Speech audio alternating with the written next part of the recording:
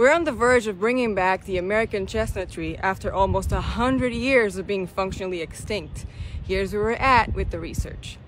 American chestnut trees used to number in the billions from Maine to Mississippi. An invasive blight in the early 1900s brought them down to functionally extinct status. But over the past 30 years, researchers at ESF have been working to create a genetically engineered varietal called Darling 58 that is tolerant to the blight.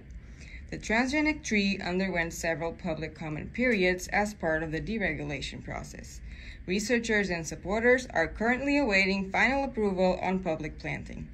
Meanwhile, students at ESF celebrated the current progress of the American Chestnut Project with a ceremonial planting on campus.